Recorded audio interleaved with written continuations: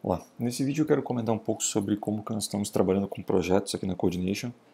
A ideia desse vídeo é ser um, um, um misto de guia para quem está, é, os futuros desenvolvedores da empresa e também compartilhar com a comunidade como é que a gente está trabalhando e pegar uh, um pouco de feedback sobre isso. Então, uh, nós somos um produto, então a, a demanda ela sempre começa, uma nova funcionalidade principalmente, ela começa da área de produtos, então a gente tem um, um time de produto, que uh, é discutido internamente é, como quais novas features são importantes para o produto, como que elas vão impactar uh, o futuro do, da, do projeto. Uh, então essa, essa discussão ela começa com uma visão mais de negócio. Então a gente tem uma, uma equipe de produto, um product owner, um designer, uma designer. eles começam essa, essa discussão eh, lá no Trello. Então é um, tem um board específico para eles que eu não vou mostrar aqui porque não é muito o foco aqui. Eu, como CTO, participo também dessa discussão para identificar necessidades, tecnologias. E então, depois que isso tá, é passado por uma série de, de discussões em relação a, a produto, uh, isso é resolvido, é priorizado para a equipe de desenvolvimento. Uh, como é que a gente trabalha daí, daí em diante? Uh, a gente não trabalha com. Nós, nós somos, usamos metodologia ágil, só que a gente não trabalha com o conceito de é, sprints como sprints é, de tamanho fechado, como o Scrum sugere. A gente foca muito mais no conversational development, que é uma teoria que fala que a, o desenvolvimento ele é um, de software ele é uma conversa, né, que ela tem que fluir muito bem sobre é, em, em todos os, os, os, estágios. Certo? Depois eu vou deixar um link, um texto sobre isso, uh, mas é uma, uma metodologia relativamente nova. Então, que, que a gente faz? Então, foi definido algumas, algumas necessidades, algumas novas features do projeto. Disso, a gente cria uh, milestones. Nós usamos o GitHub para controlar. Então, um milestone ele pode ter alguns dias, por exemplo, esse está para ser terminado, começou ontem e vai terminar é, na próxima terça. Esse próximo aqui vai terminar dia 7 de março. É, então, a gente trabalha não por sprints fechados. Então, tem esse é, milestone aqui ele é de uma semana, esse aqui é de duas semanas, outro pode ser de três dias. Então a gente foca na entrega de uma funcionalidade, de uma melhoria que dê é, impacto para o pro produto. Ah, de, depois disso, estão definidos essas, essa, esses grupos de features, nós quebramos essa, essa necessidade, esse desenvolvimento em pequenas tarefas que vão ser desenvolvidas em paralelo ou, por, ou em grupo pelo, pelo time. Então a gente pode ter mais de um milestone rodando em paralelo ou um atrás do outro. Né? Então depende da, da, da, dinâmica do time, depende da necessidade. Então geralmente é um, um, é um milestone na sequência do outro, mas eu posso, por exemplo, o back-end terminou a parte dele no, nesse primeiro milestone, ele pode estar adiantando tarefas do próximo milestone. Por exemplo, aqui a gente vê que essa aqui está com 25% pronto e eu já tenho 22% pronto do próximo próximo milestone. Né? Então, é, a gente tem esse, esse, esse foco em entregar isso aqui até tal data, mas eu não vou deixar o time parado e eu posso ir adiantando tarefas, certo? Então isso deixa a gente mais, mais ágil. É, então, como é que a gente define essas tarefas? É, a gente pega as, a, os desenhos que estão é, que, o, os, que o designer fez, que estão lá no, na ferramenta que a gente usa, que é o Zeppelin, e quebra em tarefas menores, back-end, front-end, arquitetura, modelagem, testes, o que for necessário. Então, pegar, por exemplo, criar uma nova tarefa aqui. Uh, a gente está usando uh, aquele conceito que o, que o GitHub eh, trouxe no passado, que é de templates. Então, a gente tem templates para issues, para tarefas, e tem templates para pull requests também. Então, eu vou dar um exemplo aqui, sei lá, uh, change footer. Uh, nós convencionamos em escrever as tarefas em inglês, mas é uma convenção nossa, nada é, que seja escrito em pedra. Né? Então esse, esse template ele serve tanto para tarefas uh, de bugs quanto melhorias. Então ele, por exemplo, se fosse uma, uma, uma, um bug, você preencheria isso aqui, o comportamento esperado. Ah, o que, que, que era para acontecer nessa na, na tela? Era, era, esperado que aparecesse o ano 2018 no footer e está 2017. Ah, qual é o, o, o o que, é o esperado nesse exemplo aqui? Era esperado que no footer da página aparecesse copyright 2018. Qual que é o comportamento atual? Ah, está aparecendo 2017. qual que é uma solução possível? Ah, alterar esse footer para ser dinâmico e usar a data do sistema, por exemplo. E no caso se for bugs, quais são os passos aqui que eu posso reproduzir? Então, o ambiente que eu estou, então não é obrigatório, eu posso apagar tudo ou colocar, sei lá, vou colocar em português, é, é, esperado aparecer 2018 no footer. Está aparecendo, é, aparecendo 2017. Solução possível, usar o a data do servidor no, para mostrar o ano. Um exemplo idiota, certo?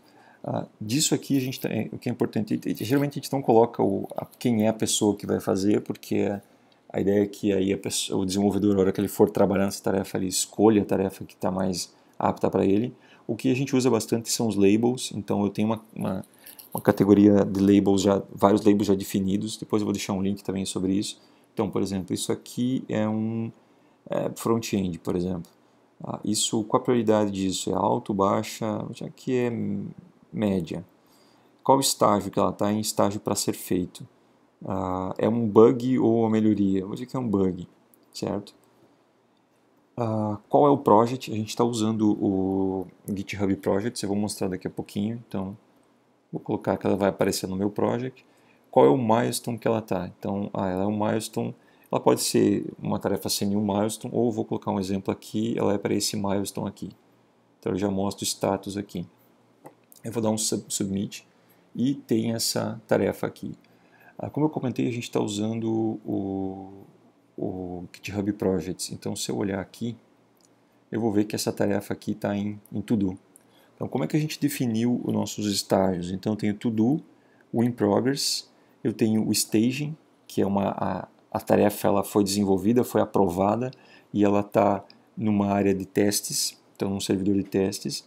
Quando foi feito o teste, foi, foi validado manualmente, se for preciso, se foi testado com algum cliente, alguma coisa, ela é movida para Ready to Production e aí depois de Ready to Production a gente, beleza, vamos lançar uma nova versão. Então a gente faz o deploy, vou falar sobre o deploy daqui a pouco, e uh, é movido para cá. Então a gente está preparando algumas, tem 19 tarefas aqui que vão para deploy nos próximos dias e já tenho 40 aqui na última, uh, recentemente em produção. Uh, como é que o, depois disso, como é que o desenvolvedor trabalha? Então a gente trabalha com o conceito de labels, como eu comentei. Eu posso vir aqui, uh, vou começar a trabalhar nessa tarefa. Então eu posso arrastar essa tarefa para cá e vir aqui e vou alterar ela. Eu posso vir aqui dizer que eu sou responsável por ela e mudar aqui o estágio dela de to do para uh, in progress. Ou a gente pode criar, nós criamos algumas alguma, uns, uns scripts que já me ajudam a fazer isso. Então, por exemplo, eu posso vir aqui no projeto e dar um CLI start work. Então, qual é a tarefa que eu vou trabalhar? É o número 578. 578. Mudou para o master. Então, a gente trabalha com o conceito de uh, GitHub Flow. Então a gente sempre tem um, uma branch master e para cada tarefa que eu vou trabalhar, eu crio uma branch para aquela tarefa. Então esse meu script que eu criei, depois eu posso deixar open source isso, ele muda, sempre muda para o master, faz um pull, cria uma branch com o ID que você disse e já muda o, o label lá, muda o label lá na tarefa, lá no GitHub e faz o assign para essa pessoa. Então se eu olhar aqui agora, ó, ele já mudou aqui o estágio estava em tudo, estava em tudo agora está em progress e botou minha minha carinha bonita ali que eu estou trabalhando nessa tarefa. Então, é, gente, a, o nosso branch master ela é sempre bloqueada. Eu não vou poder fazer é, push para o master nunca. Então, sempre eu tenho que fazer uma, uma um pull request. Então, vamos simular algum exemplo aqui. Eu vou, um exemplo bem simples, eu vou, lá, no readme, eu vou dar um enter a mais aqui, sei lá, Vou mudar esse cara aqui para mudar a formatação desse. Git add ponto git commit menos m change readme tá? Sim exemplo simples. Origem uh, isso e 578 certo? Então vou fazer um, um, um push e aí eu preciso criar um pull request. Então eu posso vir na, na interface ali criar o um pull request, ou a gente cria um outro shell script, que é o start review. Ele vai pedir de novo qual é a issue, 578. Ele vai mudar a label, ó, e já abre aqui, ó, criou uma label lá para dizendo que ela está em review, e já abriu a tela do, do GitHub na, na interface de, de abrir um pull request. A gente também está usando o template do o sistema de templates do GitHub para pull requests. Então, essa tarefa aqui, essa pull request, ele fecha essa tarefa aqui. Então, a gente usa essas, essa, feature do, do GitHub para que no momento que essa tarefa aqui, esse pull request foi feito merge, ele vai fechar automaticamente a, a tarefa. Então, aqui se eu preciso ter algum detalhe, um checklist, eu não vou, vou deixar em branco, vou apagar então fiz o pull request. No momento que é feito o pull request, uh, ele começa a rodar duas coisas. Para o pull request ele ser aprovado, ser feito merge, eu tenho duas coisas que precisam ser feito. Eu preciso que outra pessoa faça o... Se eu olhar aqui, agora já mudou para review, né? Uh, eu preciso que pelo menos outra pessoa da equipe faça uma, um review, faça uma aprovação. E outra coisa que vai acontecer é que vai começar a rodar todos os testes, o build, todos os testes unitários e de, de qualidade de código que a gente tem ó, configurado. Nós estamos usando uma ferramenta chamada AWS Code Build da Amazon, que ele roda todos os testes, então tem uma configuração aqui, vai rodar os testes do back-end, que é em Go, do front-end, os yarn testes aqui do front, do, do, Python, que a gente tem algumas, é, algumas lambda functions em Python, então ele vai rodar todos os testes aqui, se algum dos testes falhar, ele vai bloquear o, o merge aqui, certo? Então aqui eu tenho, eu garanto que eu tenho pelo menos outra pessoa fazendo um, um review e eu garanto que os testes é, não estão quebrando. Aqui a gente pode colocar depois cobertura de código e outras coisas nesse processo. Esse code build é interessante porque ele é, ele é da Amazon, ele cobra por minuto de build. Então hoje nosso build está entre 3 e 4 minutos, ah, então ele vai me cobrar só isso. Então eu não, eu não tenho uma, um ambiente o tempo inteiro rodando. Né? Então, conforme é, é, preciso, conforme vai preciso, sendo preciso, ele vai cobrando para mim. Então, é bem mais mais ágil. Eu vou fazer, vou roubar na, no, no, jogo aqui, vou abrir uma outra, uma, um outro usuário aqui e vou fazer o, o, o approve. Então, vou fazer um approve aqui, como se fosse outro colega da equipe, né? Só tô, e o teste está, então ele já fez aqui o, não tem conflitos e está tá esperando, esperando passar o, o build. Para acelerar o vídeo aqui, eu vou de novo roubar aqui no jogo. Como eu estou aqui como admin, eu vou fazer o merge sem o teste passar. Tá? Isso é não é o, correto, mas só para a gente não, esse vídeo não ficar muito longo. Né? Então, se eu olhar aqui nos, det nos details, eu posso acompanhar o build. Então isso ajuda bastante a gente ter uh, garantir que outras pessoas vão visualizar meu código e também garantir que os testes estão passando. Né? Então está rodando aqui. A gente usa containers para tudo, praticamente. Então o, todo o nosso processo de teste aqui de build ele roda dentro de containers. Então eu tenho container para o Go, que é o back-end, container para o front. Outra coisa que a gente adotou, uh, estamos trabalhando com o conceito de monorepo. Então eu tenho um repositório só que tem o back-end, o front-end, os microserviços aqui que a gente está desenvolvendo tem a documentação que está aqui dentro, tanto documentação das, das APIs quanto documentação do, da modelagem, as tarefas, então fica tudo, tudo no mesmo, tudo centralizado. Né? A única coisa que está fora do Git, é, do, Git, do GitHub é o, a área de design que está no Trello e na ferramenta de, de design do, é, que a gente usa, né? Sketch, coisas assim. Então eu vou fazer um merge aqui forçado, tá? ele vai interromper o build então, o que acontece aqui? No momento que, eu, que é feito, que é terminado o merge, que é feito o approve do merge aqui, o que acontece? A gente usa uma ferramenta chamada deploybot e ele vai começar a fazer o deploy para o staging. Ele vai fazer o build, vai gerar os, os binários do Go, do meu back-end. Terminando isso aqui, ele vai fazer os builds dos containers e vai atualizar. Ó, já está atualizando o front-end do staging e uh, o back-end do staging. E aqui no meu, ó, no meu GitHub Projects, ele já moveu ele para staging. Então eu sei que assim que terminar o, deploy aqui, alguém do time já pode testar e fazer o, é, move, se tiver tudo ok, move para production, uh, senão discute a tarefa aqui. O que a gente faz é configurar para todos esses processos aqui, o, o, tanto o DeployBot quanto o Code Build, eles estão integrados com o Slack, que é a nossa ferramenta de, de discussões internas. Então, conforme esses processos vão passando, a gente vai recebendo no Slack, ó, o teste passou, o teste não passou, foi para o tá em staging, certo? Uh, a parte de, de, de deploy para o staging é automático, então sempre que faz uma faz, faz, um merge ali, ele vai para o staging e aí vai para o ready para production e aí do, do staging para production é um processo de uma decisão de negócio, então eu tenho que vir aqui só e clicar um, um, back, um deploy para back-end, deploy para... Eu só tenho que... Opa, só tem que clicar aqui e fazer o deploy. Né? A gente não faz isso automático porque é questão de, de business mesmo. Eu preciso fazer documentação, avisar, preparar marketing, etc. Então, se eu quisesse, eu poderia fazer. É, a gente pode configurar para fazer automático, mas a gente preferiu fazer assim para ter controle de é, decisão de negócio mesmo.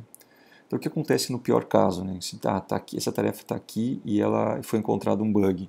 Então, ela está aqui ah, pô, encontrei um problema lá em staging, não era isso, continuamos, está quebrando alguma coisa, eu posso vir e reabrir a issue.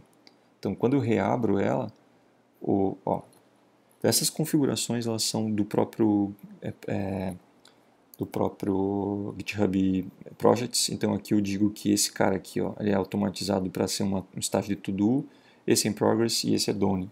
Então, se eu reabrir a tarefa, ela vai voltar para cá. Isso é uma coisa que não é muito padrão do Kanban. O Kanban diz que você não pode voltar tarefas, mas eu vou falar um pouquinho sobre isso, sobre métricas daqui a pouco.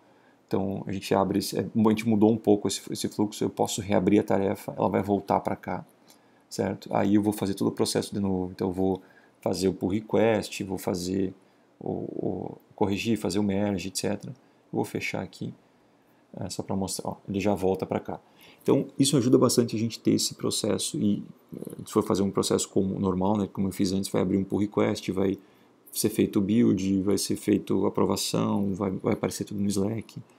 Beleza, eu vou passar isso ready to production, eu testei tudo lá no meu stage e aí quando eu achar que está pronto, eu posso vir ali e dar um clicar no deploy bot e fazer um, um deploy.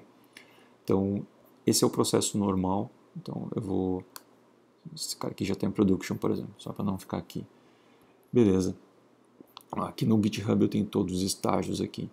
Como é que a gente trabalha com métricas quanto a isso?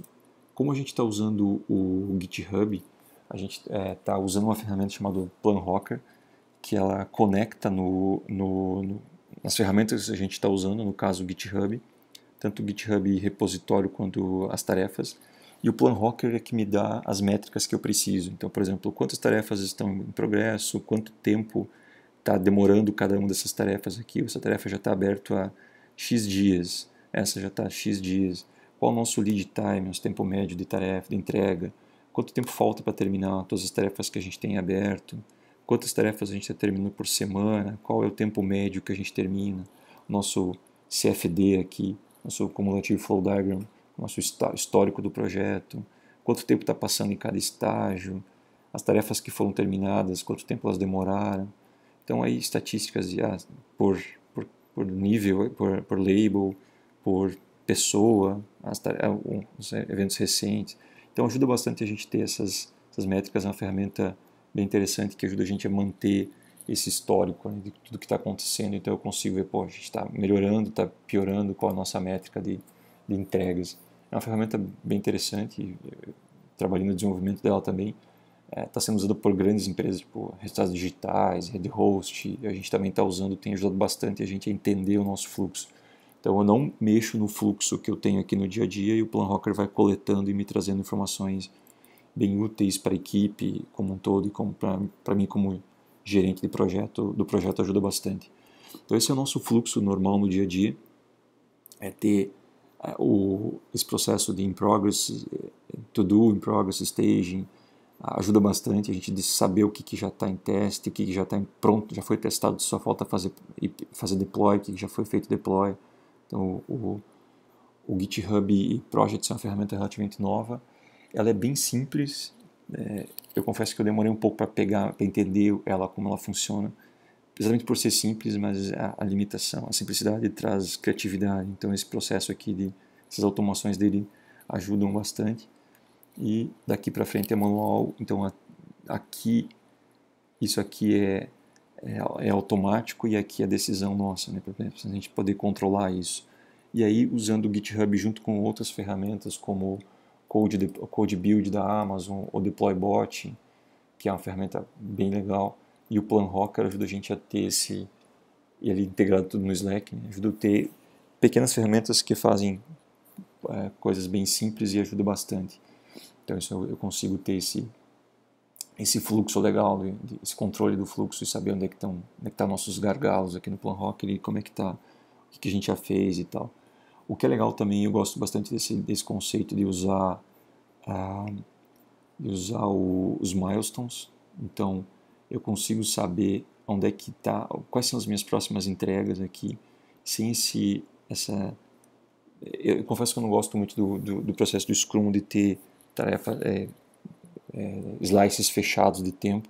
Então, eu, a gente trabalha bastante com a entrega de valor. O que, que, o que, que vai dar mais valor agora? Em vez de eu ter uma semana, duas de trabalho, posso ter dois dias, três dias ou 15 dias ou várias, várias entregas. Então, ajuda bastante a, a entender para onde é que a gente está indo. Né? Principalmente no, como uma startup no começo, ela, tem, ela é, é bem ágil as mudanças. Né?